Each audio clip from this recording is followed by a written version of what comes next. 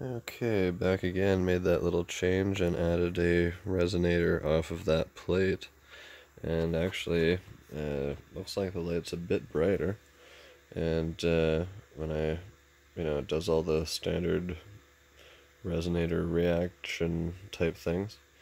Um, so if this was still lacking uh, capacitance, it would brighten when I approach it, but uh, Looks like it's pretty good here. And a little bit higher current draw. I could probably work on that. But uh, here I've got uh, about 92 volts, I guess, across the bulb. And um, yeah, so maybe that helped a little bit to add this resonator here.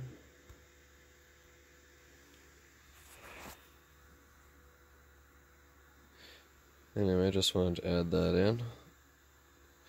Looks like it helps a bit, so I will talk to you guys later.